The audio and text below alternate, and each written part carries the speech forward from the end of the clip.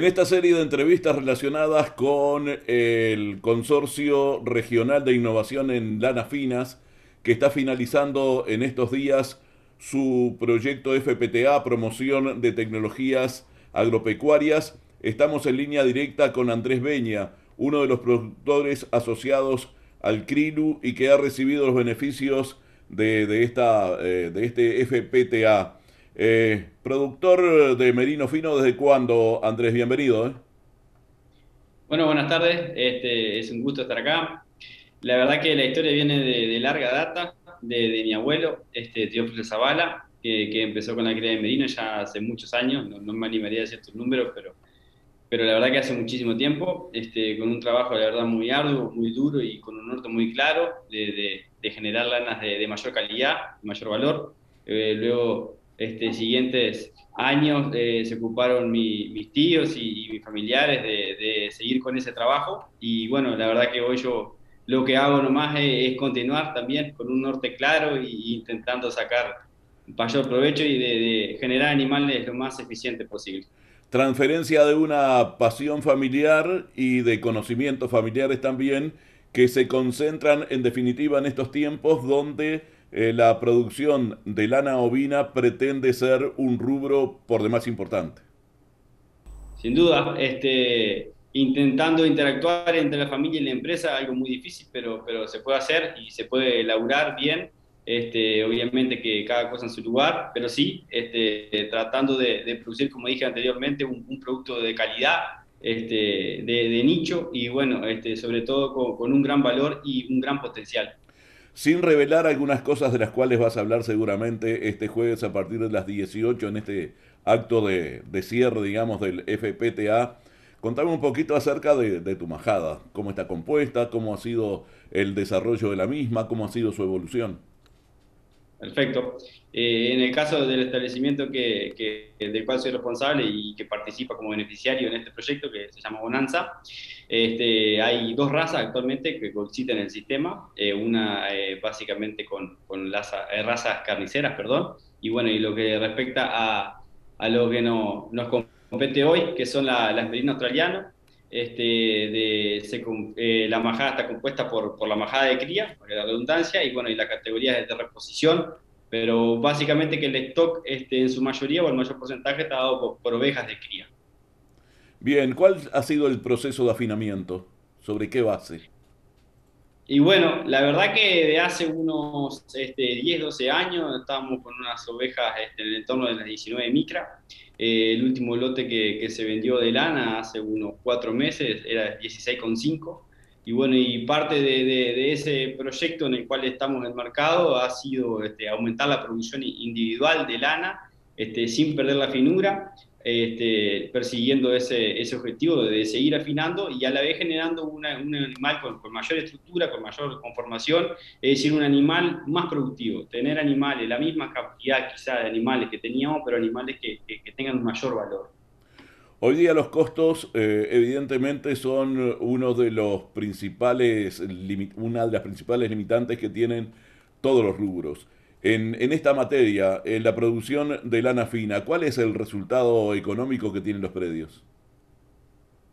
Y bueno, este, la verdad que, sí, que la mayoría de las veces estamos gestionando desde el costo, la mayoría de las empresas, es una realidad. Eh, lo que sí creo que, que, se puede comparar de estas empresas laneras, que las empresas que tienen, por lo que vimos con, grupos de, de, CREA y, y, resto de, información realmente muy, muy importante, que todos los predios que tenían ovejas finas y en el basalto y producían lana de calidad, este, tenían un plus, es decir, un diferencial, un ingreso diferencial, como dije anteriormente, con respecto a los predios que no lo hacían. Es decir, que este rubro este, no solo que se complementa perfectamente, sino que a la vez potencia todo el sistema. Eh, seguramente hay mucho camino por andar todavía. ¿Qué esperan de este rubro dentro de tu eh, actividad, por ejemplo?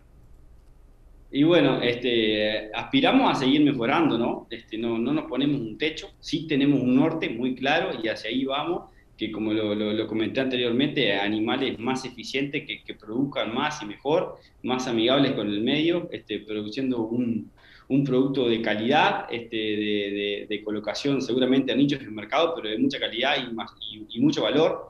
Este, y bueno, hacia ahí creo que, vamos, ¿no? Creo que todos trabajamos este, en diferentes calafones de la escalera, tanto productiva como, económica, para llegar a, eso, este, a ese norte que creo que todos lo tenemos y es bien claro.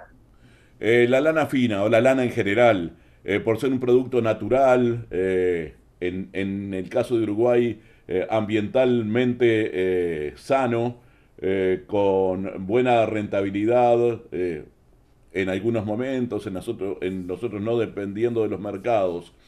Es un producto competitivo con, con los textiles que provienen de, de, otros lugares, es decir, con aquellos no textiles, en definitiva, con aquellos tejidos sintéticos.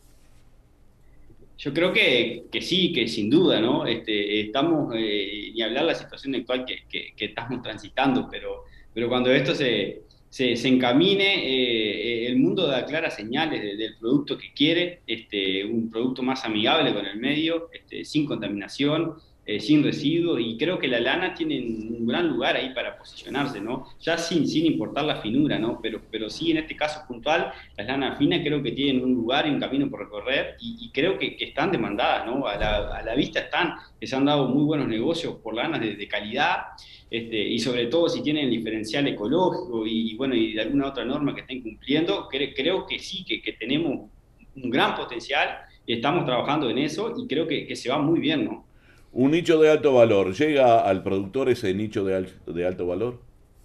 Sí, sin duda, este, sin duda que te hay que interactuar con el resto de la cadena, ¿no? Están las topistas, las llaneras, la, hay un montón de empresas, pero sí, creo que hoy el productor, lo, que, podemos, lo que hemos podido colocar esa lana que, tanto trabajo nos da y, que, y sobre todo que tanto le hemos dedicado para generar ese producto, estamos realmente percibiendo en un momento donde el cual este, muchos de los commodities en su momento pasaron un, como una pequeña tranca, como quien dice, la lana fina esta de calidad fluyó y se colocó en mercados de nicho, en mercados puntuales, pero pasó. Y el precio que obtuvimos realmente fue muy bueno. Si tuvieras que calificar eh, la posibilidad de haber participado o de seguir participando en el CRILU y en este tipo de proyectos, ¿cuál es la calificación del productor? Y bueno, del 1 al 10 diría que un 10. Este, en el caso puntual del FPTA, este, por los técnicos de, alto nivel que hemos tenido y que hemos interactuado, este, y tanto en el CRILO y lo acentúo en el grupo FPTA, creo que el contacto con los productores, el intercambio este, físico como de imágenes, como de conversación y demás, realmente potencia cualquier sistema, se aprende mucho, este, sobre todo en este caso de gente muy capaz y que labura muy bien, y, pero así todo de cualquiera creo que siempre hay que aprender y creo que la vinculación este, y, esa, y ese, ese flujo de información creo que es fundamental para todos los productores, del cual tenemos que estar muy cerca.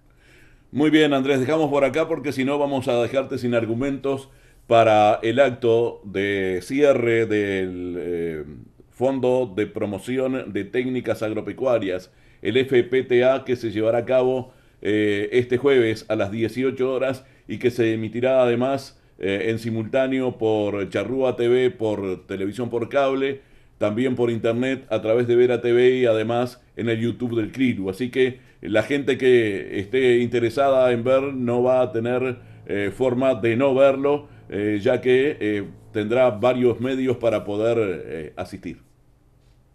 Tal cual, creo que vale la pena este, que, que, se tome un tiempito para, para, mirar, para bicharlo. Y bueno, desde mi lugar, muchísimas gracias y estamos a las órdenes.